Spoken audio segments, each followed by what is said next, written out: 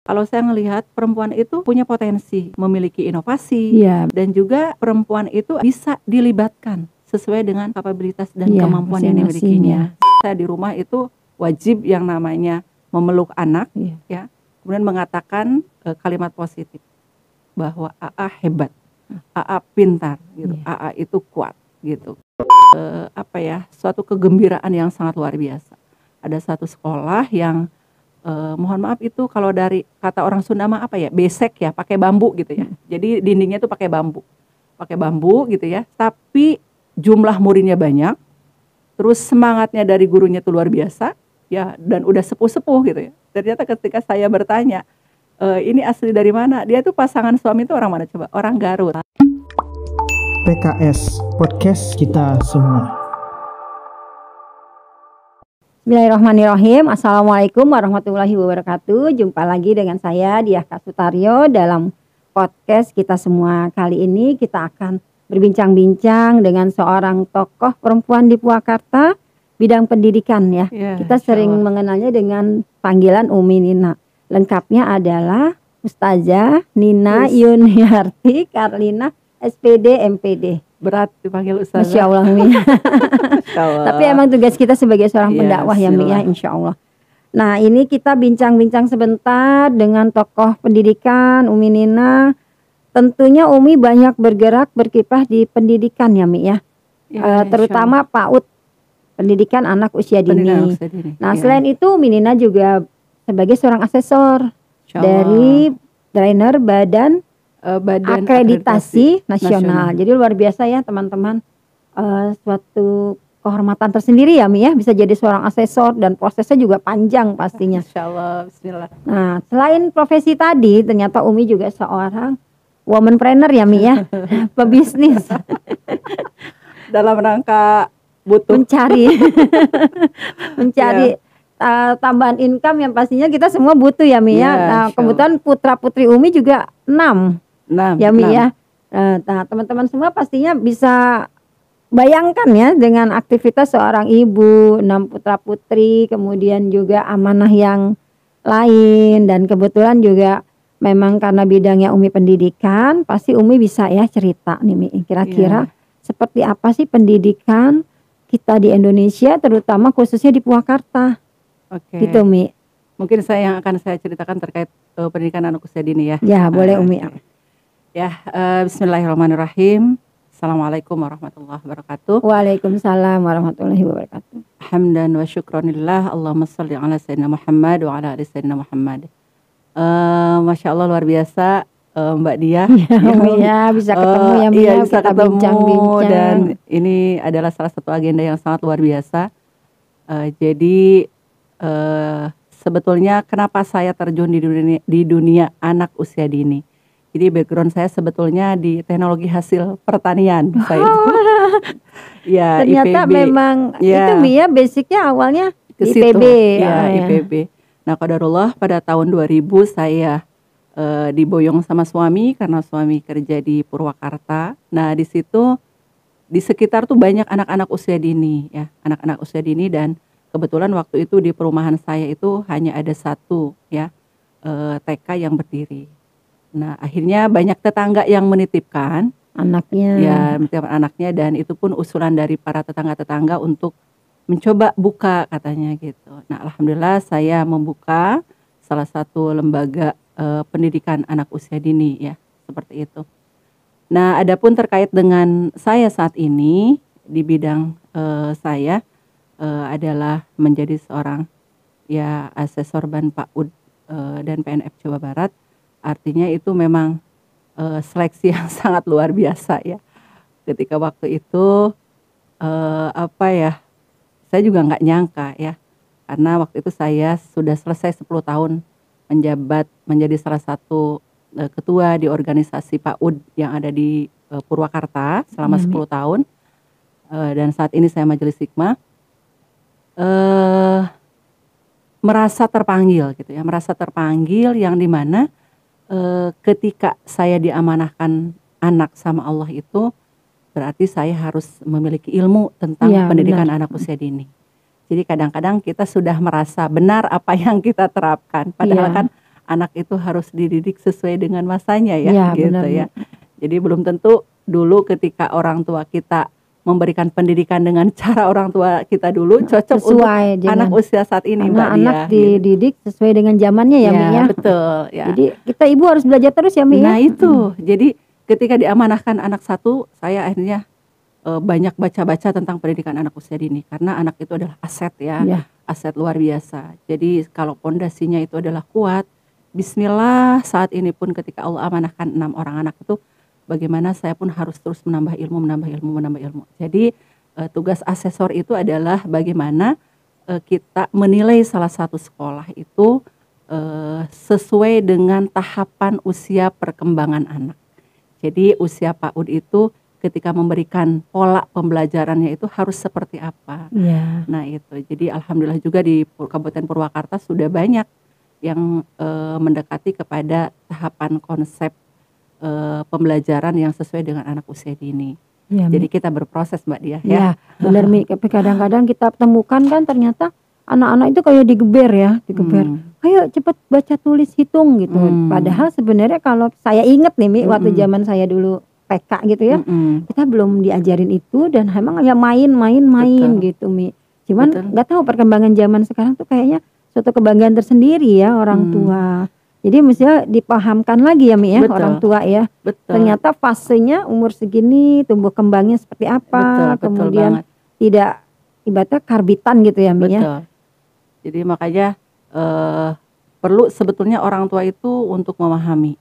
Orang tua kadang-kadang kan eh, mohon maaf ini desakan dari orang tua juga sebetulnya mah, benar. bahwa eh, TK itu harus bisa baca tulis hitung. Mm. Padahal kalau kita berbicara terhadap dampaknya itu sangat luar biasa Iya, gitu. benar, Jadi tahapan TK itu sebenarnya ada proses tahapan dia itu adalah mampu beradaptasi, Iya. mampu bersosialisasi Sosialisasi. seperti itu. Itu Mbak Iya benar ya. Mi. Kadang-kadang apalagi ditambah dengan ya kadang di SD-nya juga ya ada yang nggak Hmm. diterima karena belum baca tulis, Nah, belum bisa ya. baca tulis. Jadi memang sepertinya memang harus ada ya itu benar fungsinya asesor tadi ya Mi ya. Betul Di banget. sekolah dievaluasi udah sesuai belum dengan masanya tumbuh Betul. kembangnya. Nah, Nah, apalagi sekarang ini Mi kalau kita lihat eh, era pandemi kemarin kan. Betul, betul. Nah, kira-kira gimana tuh kalau menurut Umi tuh antara online dan offline gitu, lebih Ah, iya. bagus mana gitu ya hasilnya kepada PAUD tadi gitu Umi? Iya. Jadi di satu sisi kita harus melaksanakan juga kebijakan pemerintah karena kasus bahwa pandemi ya. ya kita tetap harus ada yang namanya proses pembelajaran. Iya. Di satu sisi kadang-kadang lewat online juga memang tidak maksimal. Iya. Tapi akhirnya kita eh, supaya tidak terputus proses pembelajaran kepada anak-anak, ya kita ada yang dilaksanakan secara online gitu seperti itu. Tetapi secara online juga itu adalah memang harus sesuai juga, sesuai dengan eh, tadi kembali tahapan perkembangan usia anak itu seperti apa. Jadi ya repot juga waktu saya tugas juga kemarin Mbak Diah ya, waktu saya tugas asesor ada proses visitasi yang waktu itu dilaksanakan online gitu. Ya itu hanya gangguan Padahal sinyal. harusnya offline ya, Mi Iya ya. gitu. Jadi akhirnya kita tidak eh, apa ya ada agak terkendala ke, eh, terutama yang ada di pelosok-pelosok ya karena gangguan jaringan juga tidak begitu Memadai, baik ya ya. seperti itu. Umi paling jauh ke mana Mi asesor? Sepertinya saya di eh, Jawa Barat itu sudah alhamdulillah. Jadi sudah Hampir semua ya. keliling semuanya insya Allah ya seperti itu. Jadi berawal- Kebayang ya Mi. Ya ber- berawal dari Bekasi muter kan gitu ya Me- memutar sampai kembali lagi ke Bekasi seperti itu. Nah, kalau Bekasi kan kota ya. Kalau Iya. yang pelosok-pelosok itu yang luar biasa perjuangannya. Masya Allah Tapi- tidak bisa diceritakan. Umi bisa banyak pengalaman yang luar biasa itu. Ya tapi yang berkesan di mana Mi? Paling Iya. berkesan. yang banyak ya, yang saya berkesan itu Masya Allah itu ada di daerah yang di mana ketika saya perjalanan dari sini kan biasanya saya tuh kalau berangkat itu sorenya itu hari Ahad selalu ngisi pengajian dulu. Iya. karena ahad itu selalu ada jadwal ya eh, sore itu ngisi pengajian. Jadi saya berangkat akhirnya habis maghrib baru berangkat. Nah berangkat dari sini habis maghrib waktu itu saya ada tugas di Sukabumi ya. Ternyata di sampai di penginapannya saja karena di situ nggak ada hotel sampai di penginapan aja saya itu adalah jam tiga eh, jam satu jam satu malam. Nah jam satu malam kita baru sebentar aja tidur eh, ternyata si lembaga itu menjemput ke lokasi karena jauh. Akhirnya berangkat kita setelah sholat subuh, nyampe ke lembaga Ya jam berapa? Allah. Jam 9. Nah ternyata Perjalanannya jauh ya, ya, ya? luar biasa. Tetapi ketika di sana saya menemukan eh, apa ya suatu kegembiraan yang sangat luar biasa. Ada satu sekolah yang eh, mohon maaf itu kalau dari kata orang Sunda mah apa ya besek ya pakai bambu gitu ya. Jadi dindingnya itu pakai bambu, pakai bambu gitu ya seperti itu. Tapi jumlah muridnya banyak, terus semangatnya dari gurunya itu luar biasa ya dan udah sepuh-sepuh gitu ya. Ternyata ketika saya bertanya "E, ini asli dari mana? Dia tuh pasangan suami itu orang mana coba? Orang Garut. Oh, Garut daerahnya Umi ya. Oh, iya, deket ya. dekat kan berarti dari tempat tersebut ke Garut. Ya dari situ eh, apa ya? Nama daerahnya apa tuh, Mi? Lupa saya pokoknya saking banyaknya ya daerah itu eh, daerah yang seperti itu. Tapi saya ada kegembiraan yang sangat luar biasa walaupun di daerah ternyata mereka berusaha juga. Berusaha ketika memberikan proses pendidikannya itu adalah pingin apa ya memberikan yang terbaik. Jadi makanya ya tadi fungsi asesor itu bukan menjustifikasi Iya. salah satu sekolah Mbak Dia misalkan Iya. ini nilainya A, Mungkin B, sarana C gitu ya. enggak. dirasa kurang Nah, gitu ya, tapi Kit- Mm-mm, akhirnya kita bisa memberikan masukan Iya, gitu. benar. Jadi kalau saya asesor tuh tugasnya adalah memberikan masukan aja, sharing sesuai saja ya, maksudnya gitu ya. sesuai dengan kondisi di Mm-mm, sana. Jadi sharing saja gitu, Ada- bukan untuk menghakimi ya. iya, Mi ya. Begitu. Mbak sebenarnya asesor itu kan salah satunya ada evaluasi ya Betul. penilaian, tapi kita sesuaikan juga ya Mi ya dengan Betul. kondisi sekitarnya, kemudian mungkin sarana dan prasarananya Mm-mm. mungkin belum sesuai yang Ya. disyaratkan, tapi Ya. ya memang sesuai yang ada gitu ya.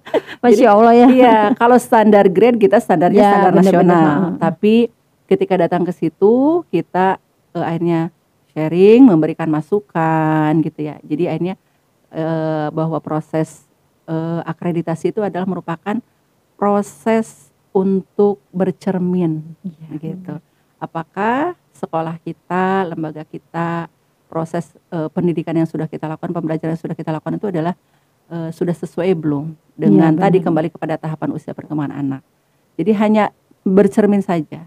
Jika belum sama-sama gitu ya seperti itu. Ya sama saya pun masih terus belajar nih Mbak. Ya, Dia. dikoreksi ya, Mi, ya, dievaluasi. Masih terus belajar saya juga. Karena memang kalau saya lihat pendidikan itu terus berkembang kan, Nah, sesuai betul. zamannya, Mm-mm. kemudian kadang disesuaikan lagi dengan situasi kondisi suatu Hmm, daerah. Betul, betul Nah, banget. kalau kembali lagi Mi ke pendidikan anak usia dini, kadang eh, kan kita orang tua sekarang suka kelewat ya masalah seperti karakter ya, betul, betul, pendidikan betul. karakter. Mm-mm. Karena saya rasakan semakin ke sini tuh, masya Allah ya anak-anak sekarang Hmm, tuh PR gitu kalau menurut saya. betul Nah, banget. ketika saat ini Umi sebagai tokoh pendidik itu Mm-mm. apa kira-kira yang kita bisa upayakan supaya untuk pembentukan karakter yang lebih baik gitu buat Nah. anak-anak. Nah, ini harus ada sinergitas, Iya. sinergitas antara eh, sekolah dan juga guru. Ya se- beserta dengan lingkungan sebetulnya Orang ya. tua juga berarti Iya. ya. Eh, sekolah ya tadi ada guru di situ. Jadi kalau saya mengatakan selalu segitiga emas. Kenapa di situ? Karena di situ ada lembaganya, ada gurunya dan ada orang tua. Jadi ini tiga segitiga ini tidak bisa dipisahkan satu persatu. Jadi bagaimana sekolah juga memfasilitasi Bismillah ya sesuai dengan kemampuannya. Kemudian juga guru pun terus mengupgrade keilmuannya, gitu Upgrade ya, skillnya terus ya. skillnya ya. Jadi bahwa memang eh, apa ya bahwa semakin ke sini itu semakin memang anak itu kritis gitu ya kemudian juga tingkat keilmuan anak-anak juga kadang-kadang di luar eh, Jangkauan lah. jangkauan kita gitu Karena ya kan ya sekarang zamannya Hmm. teknologi canggih, medsos, ibaratnya dunia tuh Nah, udah di tangan mereka gitu. banyak Mi. yang kritis-kritis seperti halnya mohon tadi ya Sa- eh, ceritanya di sekolah saya waktu tadi pagi ya terkait menerangkan tentang Ramadan ya bagaimana ketika kita itu harus saling memaafkan gitu ternyata kata anak-anak berarti harus jaga lisan dan jaga sikap Ya, benar. gimana katanya Umi jika ada orang tua yang masih suka marah-marah sama anaknya waduh Jadi kata saya gitu ya. Anak-anak sekarang begitu nah jadi ini harus tersambungkan antara eh, proses pendidikan eh, guru sekolah dengan orang tua nah jadi ini yang memang paling berat khususnya Iya, buat diri saya ya, ya. pribadi itu adalah bagaimana kita bisa menjadi teladan bagi anak kita Ya, ya benar. itu berat banget bagi guru juga sama ya saya juga kepada guru-guru kalau berkumpul eh, tugas kita itu adalah makanya kalau kata Eli Risman mengatakan bahwa ternyata ya kudwah suri teladan itu adalah 85 persen ya. Iya.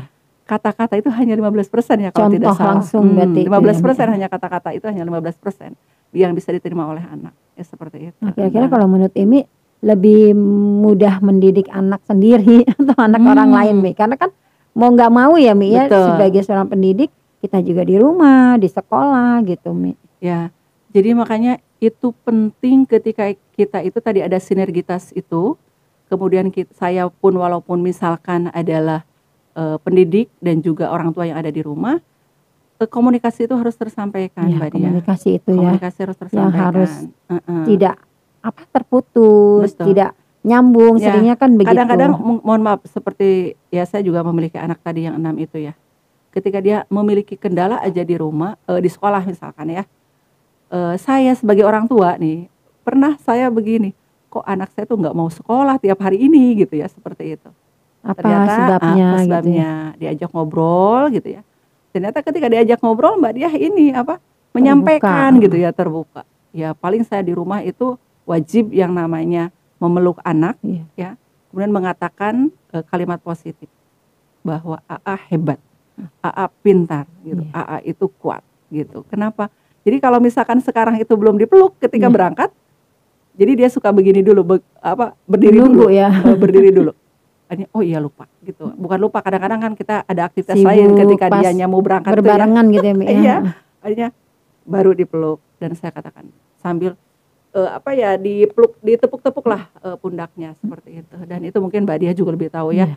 hormon yang sangat luar biasa Nyambung ya, ya, yang seorang ibu nyambung. dengan Mm-mm. seorang anak. itu hormon bahagia ya Ya, kadang kan kalau kita masih ada rasa atau gengsi atau malu gitu, terutama kalau anak laki ya Mi ya. ya Ternyata kita belajar pun Mi akhirnya terbuka bahwa justru anak laki itu yang lebih banyak harus banyak dipeluk gitu. betul Kalau anak perempuan mungkin ke Mm-mm. ayahnya kan, Mm-mm. kalau anak laki ke ibu gitu. Betul jadi makanya eh nah seiring saya punya anak remaja akhirnya belajar lagi ya belajar lagi jadi akhirnya ternyata memang kita itu sebagai orang tua itu memang harus terus belajar mbak Diah intinya ketika anak usia dini banyak belajar tentang buku ya anak usia dini gitu ya dan juga ketika punya anak remaja laki dan perempuan kan Beda berbeda lagi. Aha. cara komunikasinya gue kan berbeda Itu Nah. mah iya, makanya seorang ibu harus Nah, itu benar luar benar biasa. belajar tolabul Mm-mm. ilmi. Jadi Mm-mm. jangan sampai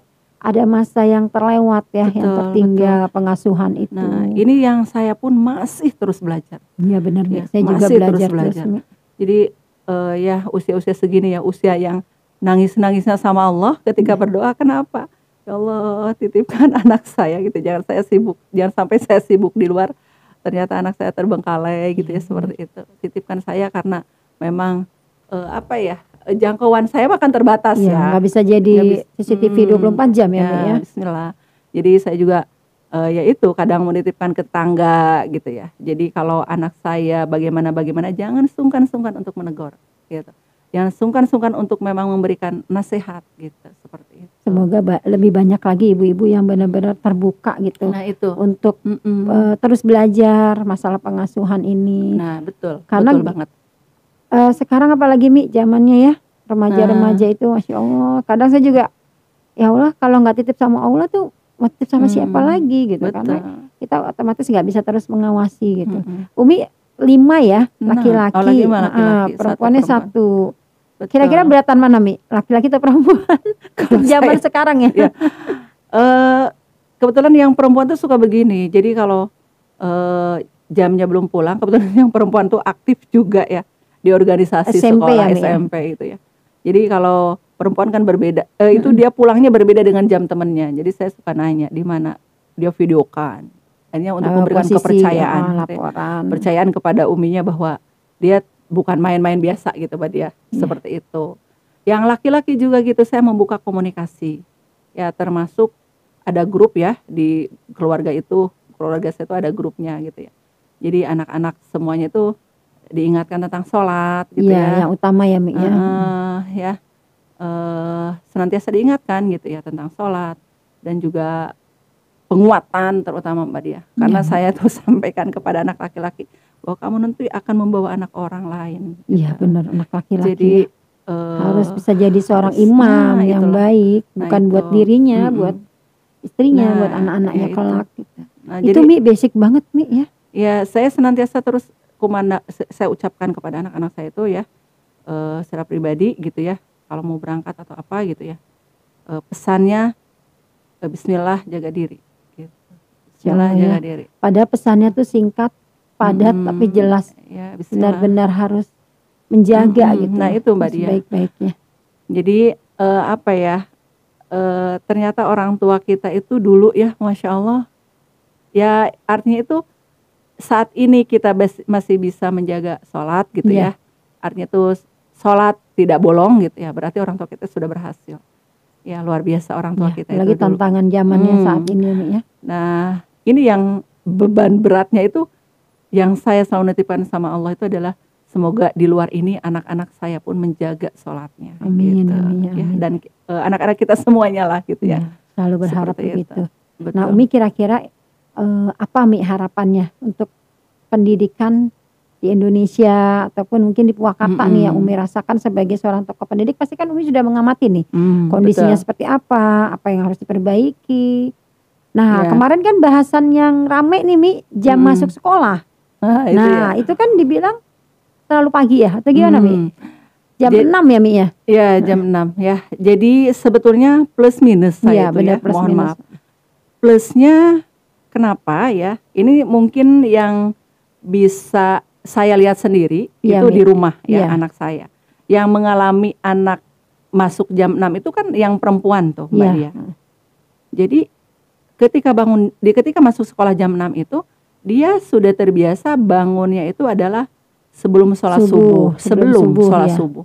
Jadi bahkan satu jam sebelum subuh, bahkan 45 menit sebelum subuh, 30 menit sebelum subuh. Iya. Jadi akhirnya eh, saya dan dia akhirnya menjadi disiplin menyiapkan untuk bekalnya Iya. karena kan ternyata wajib bekal nggak ya. boleh jajan Nggak ya, boleh ada jajan. kantin, Nah, apa bukan nggak ada orang jualan lah Iya ya gitu. gitu. Jadi dia akhirnya masak bekal untuk dirinya sendiri. Kemudian setelah itu biasanya eh, apa ya dia langsung eh, apa ya beres eh, apa siap-siap untuk sekolah. Ini saya gini eh, saya makasih masukan. Sayang banget waktu yang mustajab coba ditambah sholat dua rakaat gitu. sebelum Jadi subuh ya. sebelum subuh itu. Jadi akhirnya plusnya di situ Mbak Dia. Iya. Jadi disiplin ketika bangun, ketika bangun sekolah itu karena dia eh, ini apa? eh, dia sudah punya schedule tersendiri ya. Nah, ketika saya tanya kalau di sekolah ngantuk nggak enggak gitu. Itu kalau saya masih melihat ha- sampai saat ini itu adalah positifnya Mbak lebih Dia. banyak, positifnya. positifnya. Jadi dia lebih tahu disiplin waktu ya. Jam segini harus apa, jam segini harus apa, jam segini harus apa. Itu mungkin kalau saya. Iya. Kalau negatifnya belum melihat sih, belum melihat saya. Tapi saya saat ini eh, selalu tanya, pernah kesiangan nggak? Alhamdulillah nggak pernah, gitu. Begitu Mbak Dia. Kalau saya pribadi juga setuju Mi. Mm-mm. Dan kita lihat kan jam 6 pagi itu masih fresh, ya Mi. Fresh, Kita iya. belum berpikir apa-apa yang nggak perlu tapi Mm. fokus ke pembelajaran. Betul. Dan intinya kan ketika prepare-nya lebih awal sebelum subuh kan Mm-mm. otak juga makin dipaksa lebih apa Mi siap gitu Siap, ya iya. untuk menerima pelajaran. betul Kemudian saya lihat tadi kan bisa manage waktunya juga bagus. Iya. gitu. Cuman mungkin eh, ada faktor tertentu kali ya yang kendala jauh atau apa. Tapi eh, kalau bisa saran sih Mi tetap Mm-mm. bertahan ya sepertinya Iya. ya tetap masuk jam 6 ya. Iya, jam 6 dan bawa bekal kalau Iya kata benar saya. bawa bekal bersih Mi. Gitu, ya benar. betul. Jadi nggak jajan-jajan yang nggak bagus betul banget. gitu. Mm-mm. Karena memang kalau saya lihat anak-anak remaja sekarang kalau nggak dijaga seperti itu ya cenderung makan atau minumnya nggak bener gitu Betul. kan. Sayang sekali Iya. gitu sebagai seorang eh, menjadi generasi kan generasi penerus gitu Mi ya. Iya, jadi bawa bekal. Semoga masih bisa gitu, dievaluasi bisa bertahan ya Mi ya. Ya, ya Bismillah. Kebiasaan iya. itu Mm-mm. ya Mi ya. Mm-mm. Terus ini Mi ngomong-ngomong Umi kan jadi bacalek ya. bacalek dari Partai Keadilan Sejahtera ya pastinya. Kita juga banyak Iya. punya apa wanita-wanita super lah insya Allah yang punya banyak kelebihan yang benar-benar Allah berikan passion ya kemampuan yang lebih. Nah Umi kan sebagai seorang pendidik terutama tokoh pendidikan ya di Purwakarta itu gimana Mi ceritanya Mi Kan Umi udah berapa kali. Tapi alhamdulillah Mi ya masih Iya. terus terus maju ya Mi. ya di ya Bismillah kalau tidak salah lima kali. Ya Masya Allah ya Mi ya. Ya artinya ya walaupun memang pertama itu ketika disuruh maju itu memang saya eh, menolak gitu Ya. ya. Kenapa? Karena memang saya pun punya aktivitas gitu kan seperti itu. Jadi eh, biasanya saya tuh kalau jadi caleg Mbak Dia selalu berkum- eh, duduk bareng suami dan anak-anak. Ya ngobrol Jadi dulu ngobrol ya dulu gimana dan sebagainya. gimananya Nah, gitu. yang kelima ini saya tidak mengajak ngobrol eh, suami dan juga anak-anak gitu. Tidak tidak diajak ngobrol gitu. Bukan berarti takutnya suami nolak dan anak-anak Iya. juga nolak gitu. Tidak gitu ya. Tapi artinya itu bismillah ya Allah ini gimana gitu ya. Ini gimana seperti itu. Nah, qadarullah eh, lama gitu ya. Ya mungkin sampai ada tuh siapa mau ngambil persyaratan sampai sekarang juga jangan ke rumah dulu kata saya gitu. Karena memang saya belum bilang sama suami gitu tapi ternyata qadarullah eh mungkin ternyata suaminya itu ya waktu itu kan ada wacana saya mau pindah dapil gitu Iya ya. benar. Nah ternyata kata suami eh padahal kalau saya ditanya itu ya mau ke mana mi mau ke sini gitu padahal rapat rap eh, mungkin rapat ya BPKK kan kan saya juga Oh BPKK iya ya. ya ketua bidang Mm-mm. BPKK nih tadi belum disebut. Jadi rapat BPKK dan sebagainya. Ternyata suatu saat kata suami, kalau pindah dapil jangan mau Hmm, katanya. iya, dapil satu saja karena ya artinya tuh Kota ya, berkomunikasi Mi, ya. banyak di dapil Kota satu. Purwakarta ya. gitu. Nah dari situ saya itu lari ke kamar belakang. Lari ke kamar belakang tuh adalah saya bersujud, sujud sama Allah itu adalah ya Allah ternyata suami masih mengizinkan Ya, gitu, Alhamdulillah ya, seperti ya. itu. Suami masih mengizinkan dan akhirnya saya baru bilang ke anak-anak. Nah ternyata eh, anak-anak memberikan ini apa kayak apa ya kayak memang dengan sendirinya Mbak Dia Iya. posisi anak yang nomor satu yang ya siap mi saya eh, nganter-nganter katanya Iya, gitu. Jadi support ya buat saya uminya. nganter-nganter katanya gitu. Ini lagi nganter juga. Terus yang keduanya eh, dari ini ya dari Bekasi dari Karawang langsung pulang dan dia ya membantu lah gitu membantu uminya membuka eh, apa channel-channel dan sebagainya gitu ya seperti itu ya dan akhirnya saya komunikasikan kepada anak-anak dan ternyata ya suami begitu bahasanya kata suami kita mah pejuang katanya Iya gitu. benar pejuang Eh, dakwah ya. iya, kita mah pejuang. Sebelum memang kita diberhentikan, diberhentikan oleh eh, ya oleh partai ini katanya gitu. Terus aja berjuang gitu. Seperti itu dan itu yang membuat saya mellow Luar gitu. biasa ya Mi ya. saya Itu mellow. udah suatu hal dukungan yang luar biasa Iya, gitu ya iya. buat istrinya, buat Umi ya Mi ya. Padahal akhirnya kalau dilihat dengan pengalaman yang sudah-sudah kan harusnya gimana ya sudah lah Mi, mungkin ya Oh, begitu gitu. Mbak. Tapi ternyata masih didorong, masih didukung gitu Mi Hmm, untuk ya. terus maju. Ya, Ya yang- semoga Allah meridhoi ya Mi ya. Amin, semuanya. amin ya Allah ya. Jadi makanya saya izinnya izinnya di paket Mbak Dia. Ya, ya. Pokoknya kalau saya keluar kata berarti saya dalam rangka melaksanakan amanah ini. Jadi ya akhirnya eh, dengan kata-kata itu tuh dari suami ya membuat saya ya Bismillah dan saya bersyukur sama Allah tuh masih diberikan untuk bisa berkontribusi di tahun ini gitu ya. Berkontribusi untuk apa?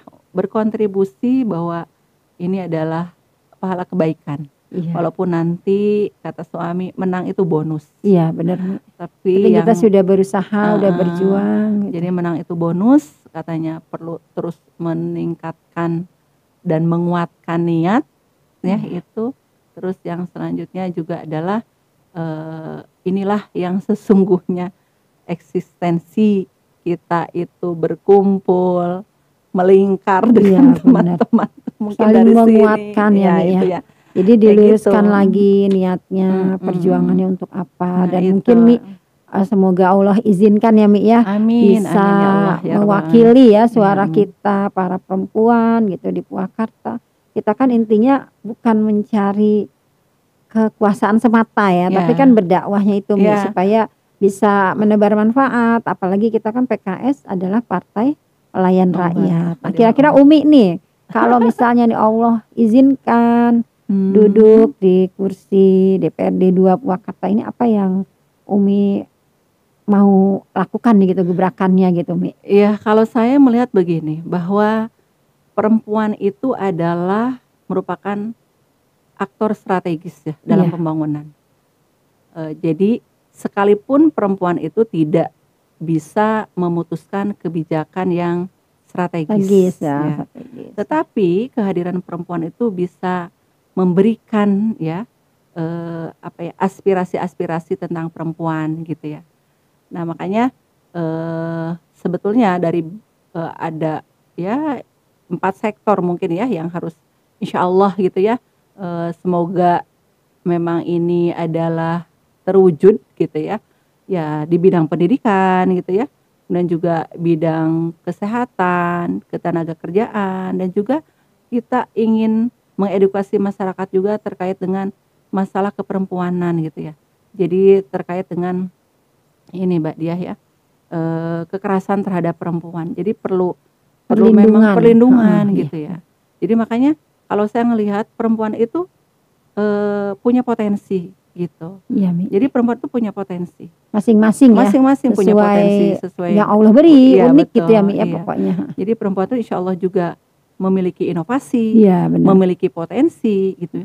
Dan juga perempuan itu adalah eh, bisa dilibatkan sesuai dengan eh, kapabilitas dan Iya, kemampuan yang dimilikinya ya. seperti itu. Nah, ini Jadi pas banget Umi ya dengan uh-uh, posisi Umi sekarang kan juga ketua bidang perempuan Dan dan, ketahanan ketahanan keluarga. keluarga, ya Uh-uh. BPKK. Nah, itu udah bisa Mi mencakup kan ya apa yang bisa kita berikan untuk para perempuan-perempuan di Purwakarta. betul. Mungkin Umi bisa cerita sedikit Mi kegiatannya apa aja Oh, yang iya. bisa dilakukan Iya. di sini selama ini. Oke, Mbak Dia. Ya. Jadi sebetulnya eh, ini yang kita ya di bidang perempuan gitu ya. Bidang perempuan dan ketahanan keluarga itu sebenarnya kita ada empat biro, Mbak Dia. Ya, benar Mi. Jadi bidang eh, ketahanan keluarga gitu ya, dan juga bidang hubungan kelembagaan perempuan ya, dan juga di sini juga bidang kajian perempuan anak ya Iya. dan keluarga juga, dan juga peningkatan kapasitas kader perempuan. Jadi ada empat bidang nih ya. Eh, Biro Mi. eh, empat biro, lupa empat biro ya, empat biro ya di eh, BPKK ini gitu. Nah masing-masing memang ada programnya ya, Iya. program kerjanya gitu ya.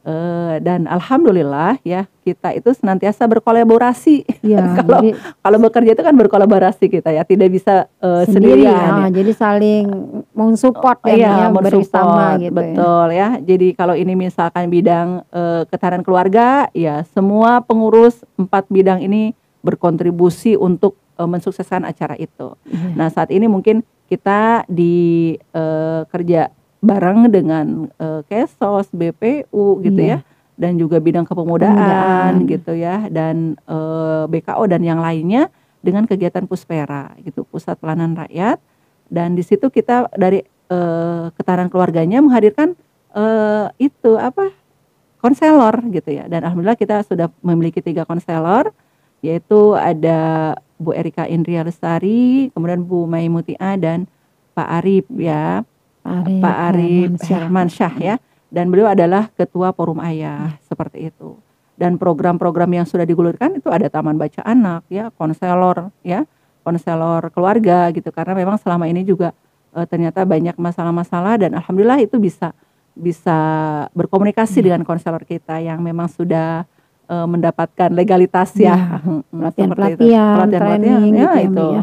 Insya Allah Iya. bisa menjadi mencari solusi lah ya Iya, untuk sama-sama bisa Mm, diselesaikan masalah. Ya, itu. Jadi luar biasa ya Mi ya. Ternyata urusan perempuan aja uh, enggak enggak enggak apa enggak sepele gitu Iya, ya. betul. Ternyata ya banyak Nah, gitu. iya. Terus pemberdayaannya kemudian juga bisa berkiprah di masyarakat Nah, gitu itu ya. Mi.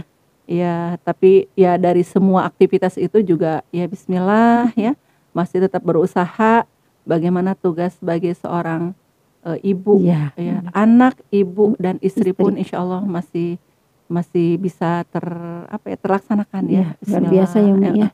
Cuman ya memang saya menyampaikan gitu ya kepada anak dan suami ya dengan eh, saat ini mohon diminta keluangan eh, hati dan waktunya gitu ya terhadap amanah ini gitu ya yang mungkin eh, tidak seperti ketika sebelum mendapatkan amanah ini Iya benar. Eh, ya semoga dengan eh, menunaikan amanah ini bisa mengurangi hisabnya Allah nanti di yaumil ya qiyamah.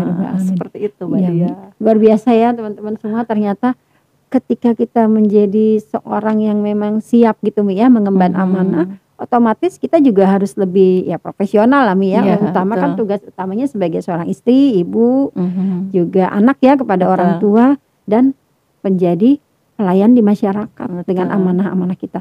Kami doakan semoga Umi Allah senantiasa memberkahi, meridhoi ya ya. Semoga bisa tercapai Mi Amin.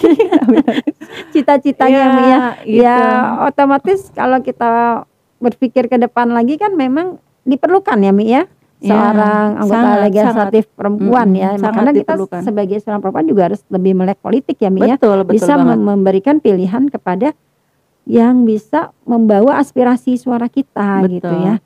Dan Semangat Mi. Ya insya Allah Mbak Dia insya Allah Insya Allah semangat karena saya pun ketika diberikan amanah pertama izin ke eh, apa eh, guru-guru yang ada di sekolah saya benar. juga ya. Mohon doa restu ya Mi Eh, ya. terus ya akhirnya karena memang saya sudah mendelegasikan juga ya di sana kepada mereka.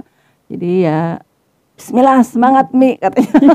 Jadi saya dapat support mereka ada seperti itu. Tenang aja kita Gak ada jalan. kata kapok ya Mi ya. Ah, Maju terus iya. gitu. Bismillah karena memang tidak lepas dari takdir Allah saya harus melalui proses ini Ya. gitu ya menjadi Jalannya, Mi, ya ya. jalan aja Bismillah ya walaupun nanti apa yang terjadi tapi yang Ya. penting saya memaksimalkan Sudah ikhtiar ya itu Mi. jadi memaksimalkan ikhtiar yang penting apa pun nanti hadiah yang Allah berikan kepada saya ya Iya. itu di luar takdir kita gitu Luar biasa Umi, Masya Allah udah banyak sekali nih ilmu yang. Ya, bisa Bismillah. kita terima Hmm. pengalaman-pengalaman Umi dan Insya Allah banyak hikmahnya ya Mi ya. amin amin ya Allah Terima ya kasih Allah. banyak Umi. Sama-sama, Mbak Allah Dia. senantiasa memberkahi, meridhoi Amin. segalanya tercapai. amin Cita-citanya amin ya rabbal Allah alamin. amin Oke, sampai di sini dulu bincang-bincang kita dengan Umi Nina. Semoga apa yang kita upayakan bisa memberi keberkahan dan manfaat bagi semua. Mohon maaf Amin. lahir dan batin atas segala kekurangan. Sesungguhnya kebenaran adalah dari Allah Subhanahu wa taala, kekurangan dari saya pribadi.